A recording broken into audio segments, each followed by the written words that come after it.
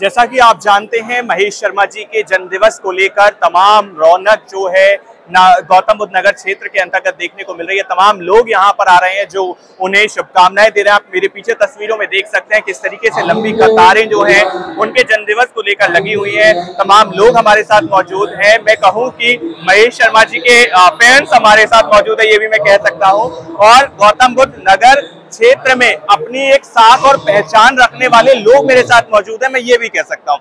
Sir बहुत बहुत स्वागत है आप सभी का टेन न्यूज़ में और मेरा पहला सवाल आपसे रहेगा, अवतरण दिवस पर क्या कुछ शुभकामनाएँ देना चाहेंगे? मैं इनको बहुत बहुत हार्दिक बधाई और शुभकामनाएँ देता हूँ और मैं भारत के प्रधानमंत्री श्री नरेंद्र मोदी जी और बीजेपी राष्ट्रीय अध्यक्ष श्री जेपी नड्डा जी से निवेदन करूँगा कि आप इस बार का टिकट भी डॉक्टर महेश शर्मा को दें।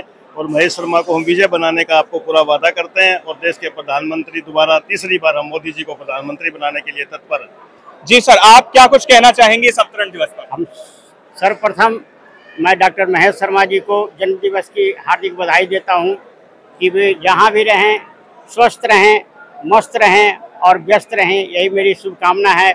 और मैं नरेंद्र मोदी जी से ये भी चाहते हैं कि व्यस्त गौतम बुद्ध नगर में ही रहें। यस यही चाहते हैं। इसीलिए कह रहे हैं कि वो व्यस्त रहें और मैं माननीय प्रधानमंत्री से आग्रह करता हूँ कि इस बार वे पुनः इन्हें टिकट देकर विजय बनाने का जिम्मेवारी हम लोग का है आप टिकट दें। अवतरण दिवस पर उनके संसदीय कार्यकाल को कैसे देखते हैं बहुत ही जमीनी स्तर से जुड़े हुए डॉक्टर महेश शर्मा है और उन्होंने समस्याओं का निवारण बहुत ही स्मूथ तरीके से किया हुआ है और उन्होंने जो विजय पताका जो फहराई है त्रिपुरा में वो तो बहुत ही काबिल तारीफ़ है। और मुझे विश्वास है और पूरे समस्त गौतम बुद्ध नगर के निवासियों से विश्वास है कि वो भारी मतों से डॉक्टर महेश शर्मा को विजय बनाएँगे। जी। आ, और भी तमाम लोग सर बहुत बहुत स्वागत है आपका टेन न्यूज़ नेटवर्क में। बताइए अपना परिचय देते हुए बताइए कि क्या कुछ खास आप साझा करना चाहेंगे उनके जन्म दिवस के अवसर हम सभी टेरी काउंटी सोसाइटी के निवासी हैं।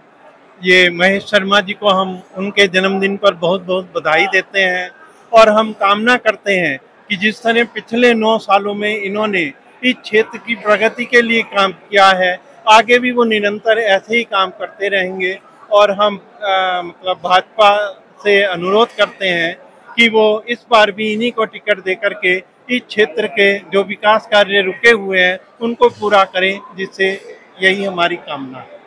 आ, सर आप क्या कुछ कहना चाहेंगे? जी यहाँ पर तमाम लोग जो हमारे साथ मौजूद थे उन, उन, उनसे हमने कहीं ना कहीं बातचीत की और देखा कि किस तरीके से ये संसदीय क्षेत्र में महेश शर्मा जी के कार्य हैं वो अनूठे हैं और उन्होंने एक ऐसी पताका गौतम बुद्ध नगर में फैलाई है, फहराई है। मैं कहूँगा कि उन्होंने कहीं ना कहीं सभी के मन को मोह लिया है। हम तमाम लोग जो एक अच्छी पहचान और एक अच्छी साथ गौतम बुद्ध नगर के अंतर्गत रखते हैं, उनसे हमने बातचीत की। सर, आपका बहुत बहुत धन्यवाद। टेन न्यूज़ से बातचीत करने के लिए आप, मैं कैमरा पर्सन विनय श्रीवास्तव के साथ हिमांशु शर्मा और आप देख रहे थे टेन न्यूज़ नेटवर्क।